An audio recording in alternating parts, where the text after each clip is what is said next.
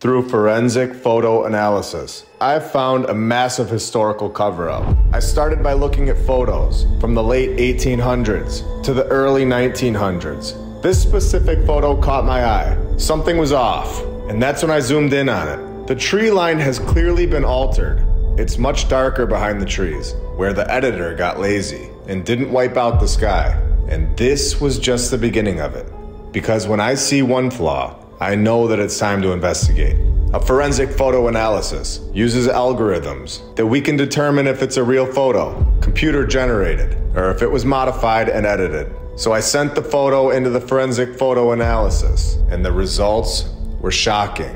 We clearly have something in the sky that has been removed from this photo. Before I give my thoughts on what it is, I just want all of you to look at it for a second and let me know in the comments below what you think that is. I'll also show you a comparison to another photo that I had analyzed to show that having a figure in the sky is not random and not normal. There was something here in this photo, and it's been edited out. It's undeniable. It's been removed to hide it from our timeline. In my opinion, this was an airship. We were never supposed to understand just how popular this free form of transportation really was. It was much more powerful than we could ever imagine. Welcome to episode 53 of my lunch break. I hope you're all having a great day. And if you're new, welcome. And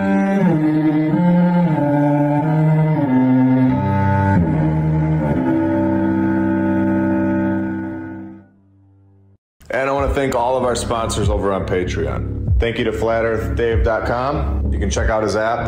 I'll put the link in the description and you can use my referral code MLB. The app is awesome. It shows a lot of videos that are really hard to find. They've got them all in great playlists. He also has my lunch break on the homeschool section of the app, which is really cool. Thank you for that. Thank you to Rebecca Kay, Don Gaston, Jason Brunson, Christopher Arietta, The Lady Lacey Show, Chuck Templeton, David and Sherry Ferguson, Edwin Johnson, Dale, DJ Clicktrack, Edward and Brianna, Edwin Rice, Joy Lee, Kyle Glasscock, Leslie Pipkins, PNR, Stephanie Nolan, The Burlesons, Two Spirit, Suez KC, Dan Woodle, Regna Saturna, Mike L, Ivan Opockley, Jim Bro, Patriots Progeny, Attila Power, Buck Suey, Corey Franks, Dakota Dunn, D Rob 33, Jacob Law, Jim Ribley and Christine Duggan, Maddie B, Shiba Shaba in the Darkness, Spartan Oneg, Tim Rack, William Richard Jeffries V, and Zach Bronco. You guys are all awesome and helping this channel out a lot. Here we have a castle. Oh, did I say castle? I meant courthouse. We have the Royal Courts of Justice, located in London, England, where for some weird reason, they just couldn't decide on a design for this project. There were so many designs coming in with master plans that they needed to hold a design competition, which was very common back in the 1800s because, of course, these 1800s people were just brilliant. It was very simple stuff back then. They just weren't distracted. They worked harder than us. And as long as they could draw it on a piece of paper with their feather, Donkeys Incorporated had the construction side of things down. Never an issue in the 1800s. So the competition began in 1866, 158 years ago, and ended in 1867. After 12 architects drew up their master plans, something that nobody will ever create again today, they supposedly had 12 guys in just London that could draw this type of thing up. In 2023, or 2024, we have a total of zero people that could draw this up and get it constructed in the entire world, let alone just London. 158 years ago, according to the mainstream narrative, this was, of course, no problem at all. Very simple stuff. So, in 1868, they picked George Street. He was the champion of this contest. He went and got Messrs. Bull and his sons. Because in the 1800s, every single construction company in the whole world has to have sons at the end of it for some reason. Going back to the great Samuel Hannaford's and Sons, and there's many other examples throughout the episodes. In fact, throughout the first 52 episodes, I would love to know how many times we found a company with sons attached to the name. In my opinion, this is another clear pattern, proving that the AI is generating these names all over the world. Now, just to put this all into perspective, if we are trusting the mainstream story, only 57 years prior to all of this happening, Abe Lincoln, a president of the United States, was being born in this masterpiece. The USA supposedly broke away from England and supposedly beat them in the war. If the USA was that smart and could beat England in a war, surely an architect or two would have followed along to America. I mean, London alone had 12. Surely the USA would have gotten one or two. So in 1809, we have shed masterpieces being put together with perfection. And all over London, we have the interior, holding more than 1,000 rooms that include various meeting chambers, administrative offices, and at least, but could be more, than 78 courtrooms. Additionally, there are 3.5 miles of corridors. And supposedly, have all of this being constructed, even though we're told that the Masons led a serious strike in the beginning of the project. Bull Bullcrap and Sons had to find more master builders which, of course, was simple stuff in the 1800s. There was plenty to go around. So they were able to get some from Germany, and they knocked this entire thing out with perfection. And it will last forever. And even though there were some issues finding new people to construct this place, it wasn't a problem really. They got the whole thing done and settled in in just eight years. Are you on the fence? Should we go deeper? Not only was this done with perfection, the winner of the contest, George Street, as we have seen so many times before, dies before the project was completed. This is so repetitive, where the winner of a design competition doesn't live to see the end of the project, and they're able to just bring anybody else in to finish it. Doesn't matter who. Everybody could do this back in the 1800s with ease. So then we have the Church of St. Mary, the Virgin Ivinghoe. And this will all tie together, but this was found around 800 years ago, in the year 1220 or 1222, which, I mean, come on. It was the booming 1200s. They worked by moonlight. Very busy people, very dedicated. Lots of skilled hunters and gatherers. Without a power tool in sight. Actually, 673 years away from a power tool, supposedly. And of course, the building will be there forever. They are addicted to lying because it is thought that an even older church may have originally stood here. I'm just surprised they didn't say that the first one burned down in a fire. The church was, of course, rebuilt for some reason in the year 1, 2, 3, 4, which was only 12 years after they say they found it. And they say that some of the original features survived. Survived? Wait, why are they rebuilding it? What happened? Did I miss some? Oh, you gotta be joking. Four years after they found it, it supposedly burned down in a fire. To believe these stories, it would take some effort at this point. And I'm just gonna be honest with you. In my opinion, that isn't even the craziest part of the story. Let's go even deeper. But before we do that, I just wanna show you all the reoccurring AI generated names really quick. We have Richard Blackhead and Richard Seward. So we have two Richards. And of course, Peter Desroches and Peter Checkapork. So we got two Peters and two Richards. We have more builders in London that like to build with their sons, John Warner and Sons, with, of course, another John down here at the bottom, John Downcombe, where he has two wives, marries both of them. And one's named Mary. We have John Downcombe and of course, we can't forget about the other Downcombe, Thomas, and the other one, William, and for the best part of this name generator, William married two people Mary and Alice, spelled A L I C E. John Downcombe. Guess who he marries? Do I even need to say it? I think we all know at this point what her name will be. Another Alice, spelled A L Y C E. If you're new to this and on the fence, if the AI is generating these names, this is not the first time that this has happened. You're gonna wanna check out episode 43 and all the reoccurring names in that one. Are we having fun?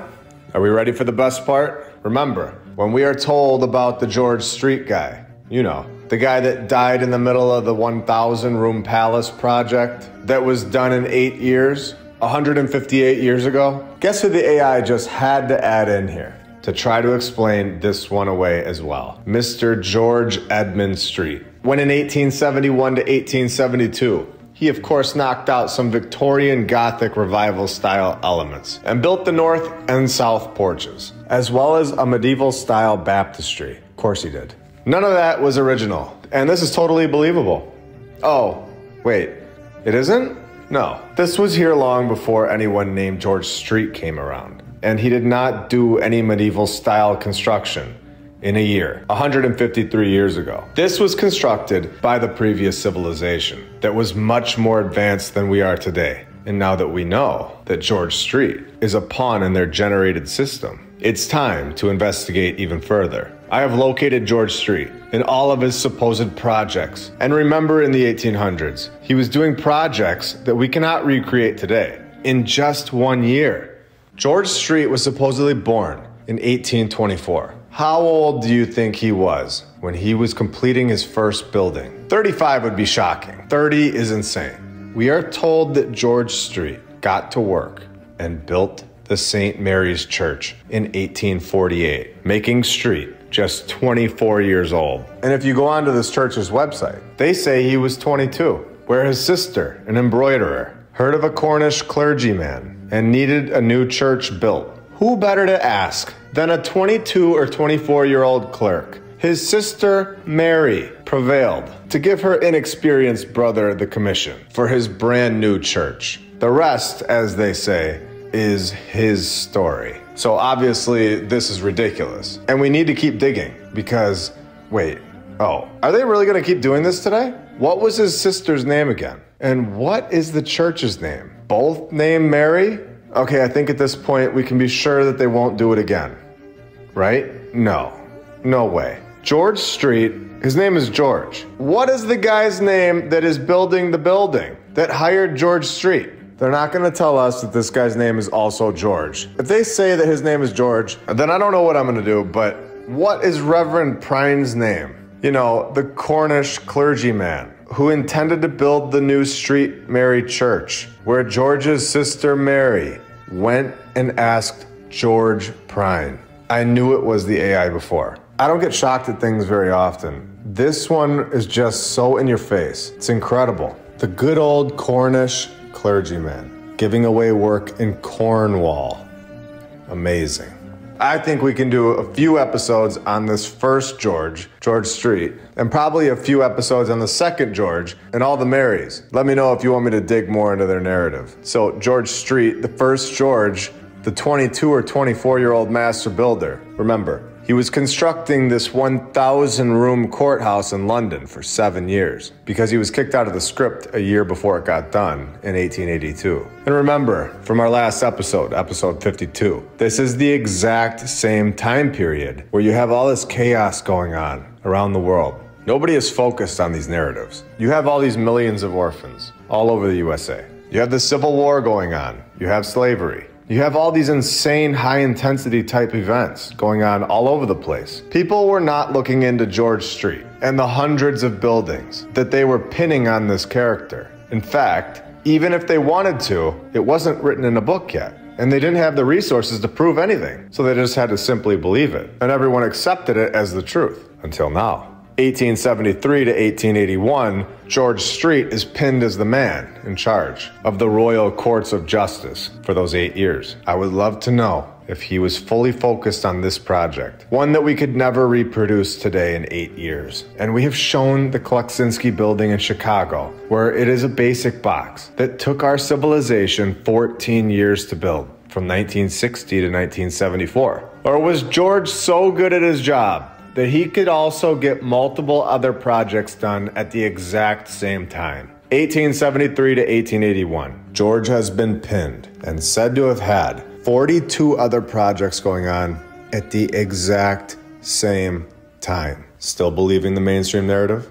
All right, now before we start the bonus, I want to let you all know that we went to California this month and got some cool footage of some really cool buildings out there. So we will be talking about that and showing what we found in one of the upcoming episodes. We're just getting all the footage together, and I'll keep you posted on that. And I want to thank all of our badge members and Patreons and every single subscriber. You guys are all awesome and really helping grow this channel. All right. Here we go. They tell us that the Lindenwold Castle, located in Ambler, Pennsylvania, was designed by Milton Bean and built in 1890 without any details on its construction. It's just done in 1890. Where Mattison lived in the castle with his second wife, Mary. Where after Mattison died, the new people turned this palace into an orphanage called St. Mary's. Mary, Mary, Mary. So we have a massive castle, done in one year or less. And for decades, that's all we needed to hear for it to be true until now, where we understand that logically,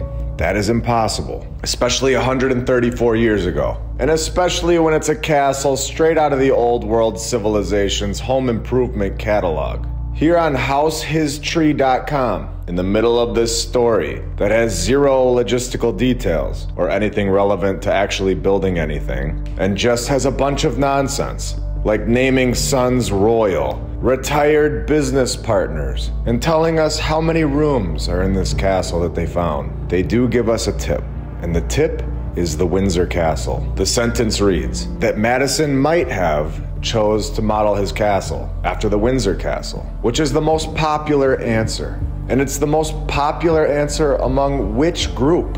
Because that is definitely not the most popular answer to us. But they think it might be modeled after another castle nearby, and they all dispute it for years and years. And remember, it's all nonsense. We have no idea who this group is that they tell us that this is the most popular thought. What I see in all of this is one thing the Windsor Castle. And I want to see what year they say this Windsor Castle was built in. Because I bet you it is connected to this castle. And this castle in Pennsylvania might have actually been built hundreds of years ago, if not thousands. And they will give it all away with this Windsor Castle connection. Located in Berkshire, Windsor, built in 1070 over 954 years ago as a fortress and covers 484,000 square feet of living space, divided into about 1,000 rooms. So something is extremely clear here. We are 100% being lied to about our history.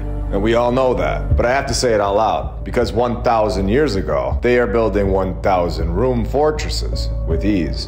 And it, of course, lasts forever. No questions asked. And today we have evolved so much that we can't build a sidewalk without stepping in it before it dries. Now, this is my opinion, but I can see them adding this Windsor Castle into the narrative for a specific reason. And I personally think it's to connect the dates. That these castles are from nearly 1,000 years ago, when the previous civilization that had all the technology, had proper training, and had the logistics down, Instead of the opposite happening, where we are told that there were no classes in castle building at the local community college in the year 1070, where they would go home to their sheds and sleep with candlelight, freezing using barn hay as beds, and then waking up again traveling by horse and wagon to pull stone and granite miles on a trail and getting this 1,000 room fortress done no problem. The timeline is clearly all over the place at this point. They could have told us that it was built in the year 1045. It would have made no difference. And people would have just believed it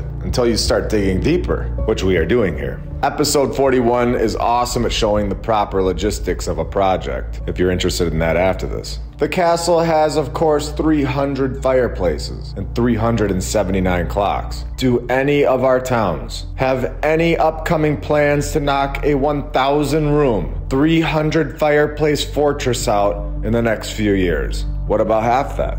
No? With our modern construction, 1,000 years after they did this, we should be able to do this with ease, since they did, without a power tool in sight. Supposedly, we have a better education system, so we are told. We have more knowledge than ever, supposedly. What is wrong with this picture? I would say a lot. Do you understand that something is wrong with the timeline? Something massive? Can we all see the lie very clearly now? We have been lied to about all of this, starting around the year 1800, and possibly right before that, where everything in our timeline began. And the old world buildings from the previous civilization are still here for us to see, in every city, with insane narratives to try to fit them into this lie. Where we are told that people from 1,000 years ago were less than us, worse off, and we are told that we have all this brand new technology in the last 200 years. Everything is brand new. Every company was created recently, all over the world. Is that not strange to you? And we're told this new technology has never been here before planes, trains, cars, phones, computers, internet, and the AI when it has. And in my opinion, It's been here many, many times before, and so have we.